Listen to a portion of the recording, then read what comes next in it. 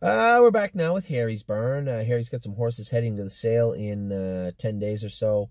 Uh, we'll maybe funnel some babies down to Harry after that. Harry, Kevin has some horses leaving also. We're not buying that many. I, I talked about claiming a horse last week. That didn't come to fruition. So um, if we uh, if some of these horses leave, you know, the only way to deal with that as far as keeping the numbers up is to move some of the babies down, which is okay because we are going to be short of groom. Uh, one caretaker is has uh, told us a while ago that they're done in two weeks, so uh, the timing is good. We should be able to move some of the horses around. Now on to Harry's Barn. Anteros is a horse that'll be leaving for the sale on the tenth.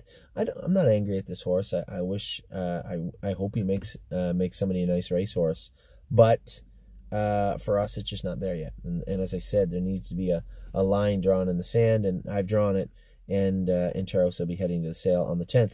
Beach Boutique and Beach Bum BB were noses apart yesterday and finished up very good. Cabernet is still out in the field, should be coming back after a little while. Capistrano trained good. Easton Ivy sold. We sold Easton Ivy the other day. Gone. Easton Ivy was sold the other day. He's going to continue racing at Flam. Might be in tonight for all I know.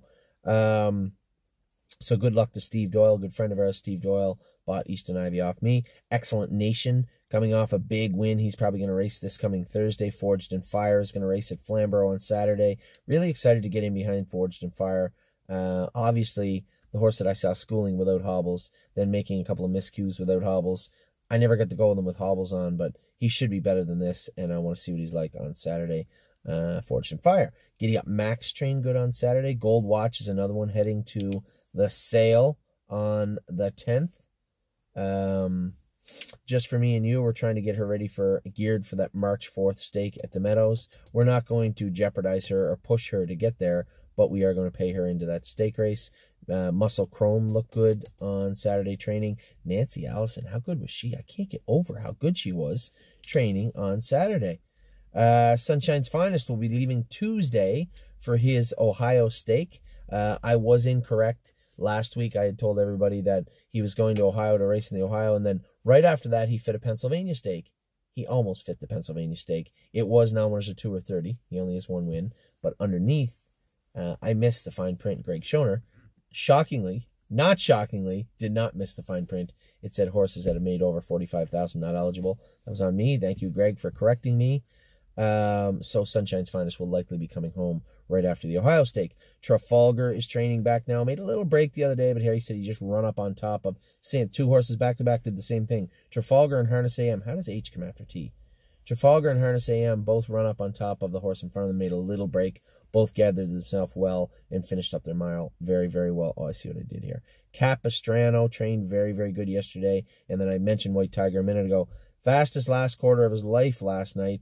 I told you we were making some equipment changes. Had I known that he would have been that dramatically, that much, that much better, uh, I think James could have driven him in a much more aggressive manner. Coming off a break, never trotted a flat line in his card for James. I think both the horse was coming in with uh, wavering confidence levels, and I'm sure James's were also. Uh, he drove him. Com- he drove him very uh, very conservatively and was absolutely screaming on the end of the mile. 26 and 3, the fastest quarter of the entire night. And these aren't made up with a stopwatch. This isn't somebody saying, ah, I think it's 26 and 3. This is computer. This is Trackers. And White Tiger trotted his last quarter in 26 and 3. And I talked to James at the after party at the O'Brien's. He said, totally different horse. The changes that you guys made on him, totally different horse. So thanks to Felix uh, Marion, our blacksmith, did a great job with White Tiger. And uh, Harry obviously has done a great job with White Tiger. And I have to give props to my wife, Amy. She loves White Tiger. She takes care of him and um, does a really good job with the horses. She takes care of him, especially White Tiger. So good job, Harry, Amy, and Felix on uh, White Tiger. Be back in a minute with Kevin and Jason's Spark.